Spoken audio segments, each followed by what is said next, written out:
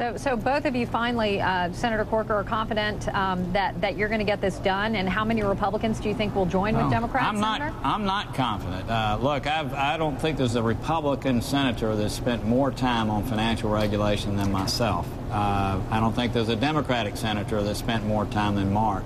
I'm not confident. Uh, uh, I've been hearing some of the policy drift over the last day or two. I hope it happens, and I hope it happens before we actually have the motion to proceed next Monday night. But, uh, you know, at the end of the day, uh, Campbell, uh, bipartisan means something that both sides, uh, large numbers, both sides of the aisle agree to. And right now I'm a little concerned about the policy drift that's taking place. But after all this time, I'm very hopeful that we do get something that ends too big to fail and deals with some of these other issues that you've alluded to tonight.